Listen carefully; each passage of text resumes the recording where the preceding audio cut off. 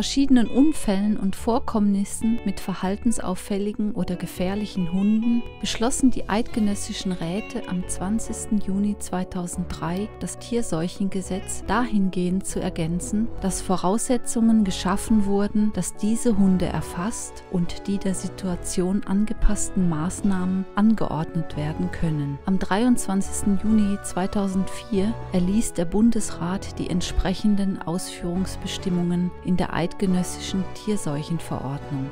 Ab dem 1. Januar 2006 muss jeder nach diesem Datum geborene Hund mit einem Mikrochip gekennzeichnet werden. Ältere Hunde müssen bis Ende 2006 gechippt sein. Sind Ihre Hunde auch gechippt worden? Ja, ich musste leider auch müssen chippen. Ja, ist gesetzlich geworden. Ja, schon lange. Ja, müssen.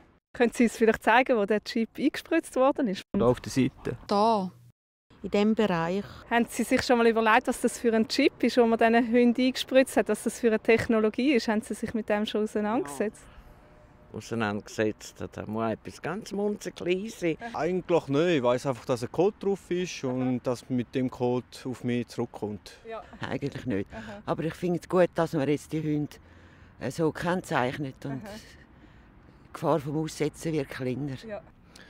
Die, die, Identität des Hundes, zu wem das gehört. Ja. Aber äh, wenn er abgeht oder wenn er geklaut wird, kannst du ihn nicht ausfindig machen. Ja. Und wie war es, als Sie beim Tierarzt waren und der Chip eingespritzt worden ist? War Ihnen da ein bisschen mulmig oder wie ist Ihnen da dabei gegangen? Ich habe den Hund mit Chip bekommen, also ist schon eine Art schon gemacht. Gewesen. Ich hatte einfach ein bisschen Zweifel, als ich da machen musste, wie da die Auswirkungen sind. Also wir sind nicht zum Tierarzt gegangen, der Tierarzt ist gekommen. Der Hund ist zwangsgechippt worden. Zwangschip, das habe ich jetzt noch nie gehört.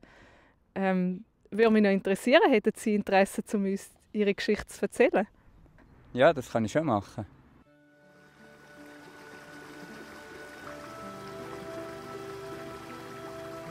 Eigentlich bin ich nicht so ein Hundeliebhaber. Meine Frau hat sich immer einen Hund gewünscht. Vor fast 15 Jahren habe ich Tosca meiner Frau zum Geburtstag geschenkt. Die grössten Ereignisse sind immer wenn sie Junge hatte. Die sind unherzig. 46 Junge hat sie gehabt. Ja, und während dieser ganzen Zeit haben sie sich dann nie mit dem Hundechip auseinandergesetzt. Es hat ja auch Leute gegeben, die ihren Hund schon lange freiwillig chippen lassen haben.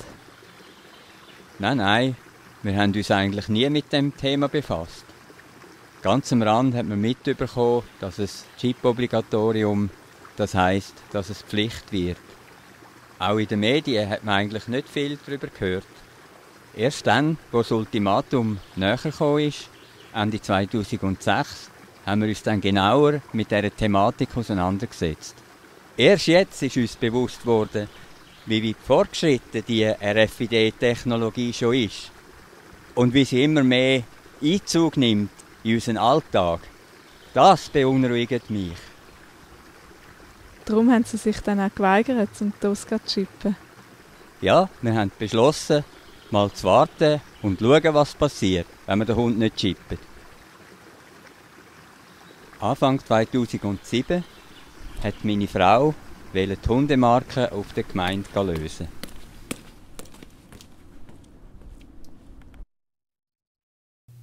Es tut mir leid, aber ich kann Ihnen ohne Chip leider keine Hundemarke geben. Das ist einfach Bundesgesetz. Aber wir haben uns jetzt so entschieden, dass wir unseren Hund nicht chippen lassen. Was passiert, wenn wir es nicht machen? Wie geht es dann weiter? Ich weiß es auch nicht genau. Auf jeden Fall werden wir Anfang Juni schauen, wer keine Hundemarke gelöst hat und dann, dann einfach eine Aufforderung schicken. Kann man das nicht jetzt irgendwie schon melden, dass wir da nicht einverstanden sind? Wir sehen einfach keinen Sinn dahinter. Weil die Hunde, die gechippt sind, bissen nicht weniger. Es gibt nicht mehr Sicherheit durch das. Einen Moment bitte. Ja, kannst du mal schnell kommen? Ja. Und zwar geht es um die Dame, die den Hund nicht will chippen lassen. Und ich kann ihr doch auch gar keine Hundemarke geben. Was soll ich da machen? Das ist halt einfach Gesetz. Wir schicken es das Veterinäramt weiter und die kümmern sich dann darum. Ja, sieh, es gibt viele Gesetze, die nicht durchgesetzt werden. Aber das, das wird durchgesetzt. Sie entschuldigen mich. Lassen Sie es doch lieber bleiben. Es gibt doch nur unnötige Kosten und Bussen. Macht doch gar keinen Sinn. Also wir haben uns so entschieden. Wir lassen es einfach darauf ankommen. Am 31. August haben wir die Mahnung bekommen von der Gemeinde, die Hundemarke zu lösen und den Hund bei der Anis Datenbank registrieren zu lassen. Für das hätten wir sie müssen chippen. Ich habe dann gerade einen Brief zurückgeschrieben mit der Begründung, warum wir den Hundechip ablehnen. Und noch 60 Franken beigelegt für die Hundemarke. Ohne Kommentar haben sie uns die Hundemarke per Post zugeschickt.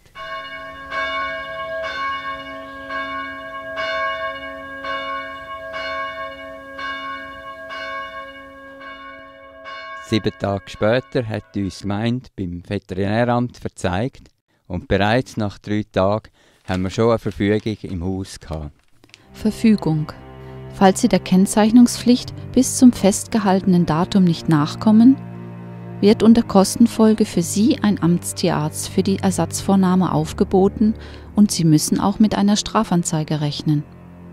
Die Kosten für diese Verfügung betragen 100 Franken. Gut, wir haben dann die 100 Franken gezahlt und ich habe gerade das Rekursschreiben aufgesetzt.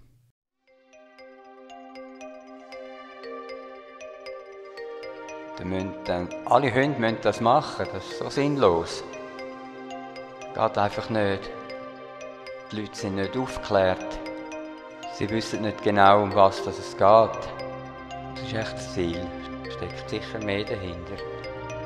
Jeder Mensch mit einem Chip versehen und zentral vernetzt. So ein brisantes Thema wird kaum diskutiert in der Öffentlichkeit. Mit jedem Chip, der eingesetzt wird, stimmen wir eigentlich dem Kontrollsystem zu. In der Bibel haben wir schon einen bedeutenden Hinweis. Charagma. Merkmal an der rechten Hand oder Stirn. Eigentlich handle ich gegen mein Gewissen. Guten Abend. Guten Abend. Die Antwort ist schnell gekommen. 1000 Franken Vorauszahlung, sonst wird der Kurs gar nicht behandelt. Wir haben dann sofort gemerkt und gesehen, dass das einen langen und teuren Rechtsweg gibt. Wir haben dann auch die Frist vom 5. Oktober vorbeigehen lassen und das Veterinäramt hat dann den Rekurs abgeschrieben.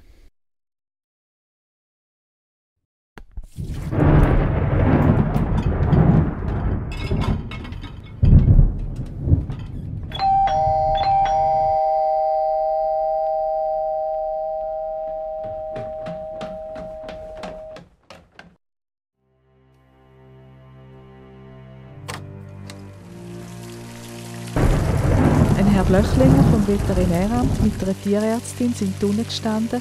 Unangemeldet sind sie einfach gekommen, um den Hund zu schippen. Zwangsweise. Dann habe ich geschwind ihm angelötet und dann sind wir dann am Telefon übereingekommen, dass man nicht Widerstand leistet. Und dann haben sie tatsächlich den Hund da unten gechippt.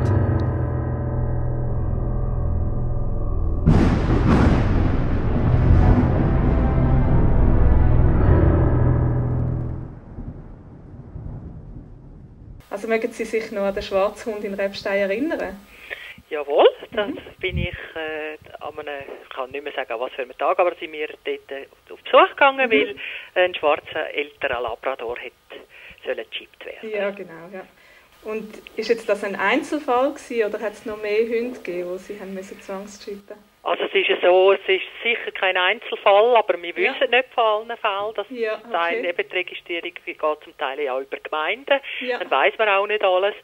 Und äh, wir haben noch andere müssen zwangschippen, ja. Ja. Und ähm, jetzt in näherer Zukunft gibt es da noch andere Tiere, wo auch das Chip-Obligatorium dann eingeführt wird?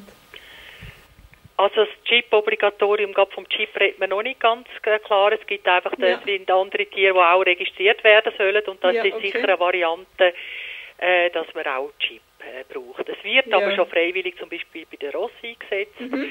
bei Grosspapageien und so, bei den Ja, okay. Greifvögeln, da tut man die Leute schon selber chippen.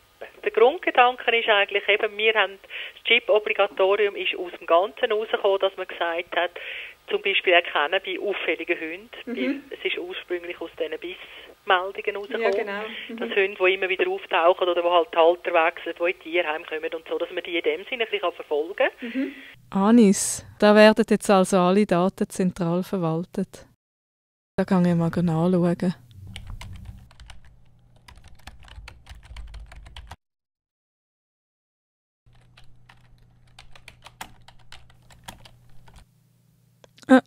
Ah ja, jetzt kommen sie da. Na, schau jetzt. Und da sind alle Daten drin. Mit der Tosca und ihrer ID-Nummer. Mal schauen, ob ich noch etwas zu einem Hund finde, der gerade gechippt wird. Der Chip wird dem Tier mit einer Spritze eingeführt. Wie Sie sehen, ist das völlig schmerzlos. Das hat uns jetzt neugierig gemacht. Was ist das für ein Ding, das solche Emotionen hochkommen lässt? Was ist das für eine Technologie mit dem sonderbaren Namen RFID?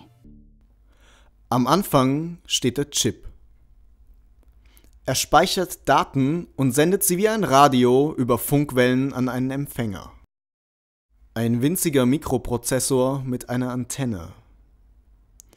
Es gibt aktive und passive Chips in unterschiedlichsten Bauformen für unterschiedlichste Anwendungen. Die passiven Chips benötigen noch nicht einmal eigenen Strom. Jeder Chip verfügt über eine Seriennummer, die es auf der Welt nur ein einziges Mal gibt. Auf diese Weise lässt sich ein Objekt oder ein Lebewesen eindeutig und ausschließlich identifizieren. War nun dieses Obligatorium für Hundechips eine eher belanglose, nur für wenige Leute bedrohliche Gesetzgebung? Oder steckt tatsächlich mehr dahinter? Könnte sie auch zur Identifikation von Menschen benutzt werden? Die USA und die EU haben bereits biometrische Pässe eingeführt, deren Informationen auf einem RFID-Chip gespeichert sein müssen. Auch in der Schweiz wurde ein solches Gesetz eingeführt, gegen welches das Referendum ergriffen wurde. Am 17. Mai 2009 wird es eine Volksabstimmung geben. Und haben Sie sich auch schon mal überlegt, ob vielleicht der Chip auch beim Menschen eingesetzt werden so wie er jetzt bei den Hunden eingesetzt wird? Nein, das finde ich sehr gefährlich. Ja, okay. oh nein, das würde ich jetzt gerne gut finden. Aha. Da ist Privatsphäre, da ja. ist geht zu weit. Ja. Finde grauenhaft. Aha. Nein, um Gottes Willen. Ja. Wir haben schon genug Vorschriften, ja, oder? Genau. Wir müssen uns noch chippen, dass wir genau wissen, wo wir sind, ja. oder was? Nein, nein, nein, nein, nein, Aha. auf keinen Fall. Aha. Ich würde mit, da mit Händen und Füßen dagegen wehren. Nein, nein. Das ist ganz klar, das kommt auch. Ja. Irgendwann kommt es. Totale Kontrolle. Ja. Ja, eine will irgendwann alles haben. Ja, ich habe mir das schon überlegt, aber also, ich hoffe es nicht, ja. nein. Und Sie wissen, dass das schon gemacht wird? Also, wissen Sie nicht, ja. Also es ist jetzt schon so, dass, ähm, dass es sehr viele Menschen gibt, die schon chippt sind, ja. Die amerikanische Food and Drug Administration befürwortet die Nutzung von unter die Haut gepflanzten RFID-Implantaten für das Management von Patientenakten. Es ist geplant, in England alle 31.000 Polizisten der London Metropolitan Police mit einem RFID-Implantat im Oberarm auszustatten. Im Namen der Sicherheit können sie sich nicht mehr unbeobachtet fortbewegen.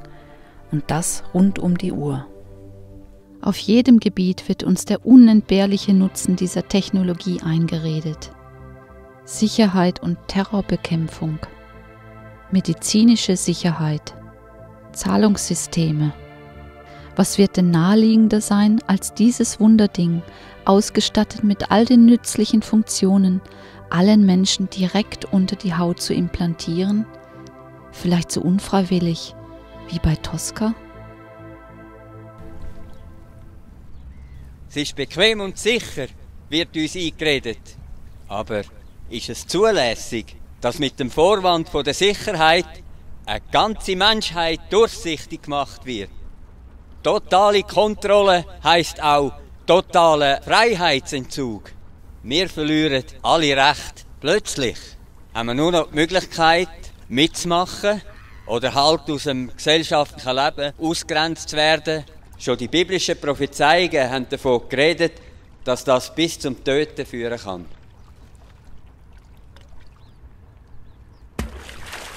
Wenn wir meinen, Regierungen würden so etwas nicht machen, dann sind wir jeglicher Realität entfremdet.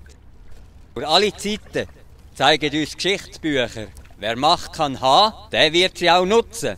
Wir müssen Grenzen setzen. Ein Chip und ein Tut oder Tätowierung oder ähnliches